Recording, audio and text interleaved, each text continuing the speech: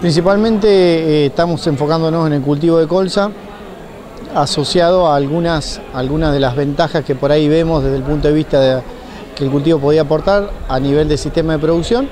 y principalmente está asociado a la posibilidad de intensificar la secuencia de cultivo. Tenemos periodos de 6-7 meses en el cual no se, no se realiza cultivo, ¿no? o sea, esos lotes permanecen 7 meses en barbecho, en donde ahí es donde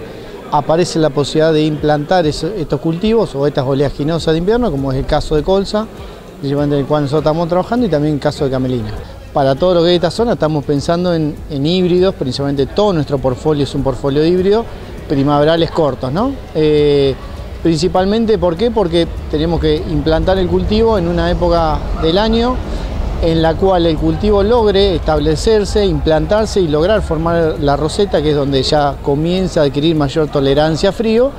y durante el ciclo del cultivo pasar estadio vegetativo, reproductivo y culminar el periodo reproductivo en una época en donde todavía no tengamos altas temperaturas en lo que es, por ejemplo, floración y llenado, que es lo que principalmente afecta al cultivo. ¿no? Entonces, para esta, para esta zona estamos pensando fecha de siembra de desde fin de abril hasta el 15-20 de mayo, que serían las fechas óptimas, que es un poco lo que pudimos determinar en otros ensayos,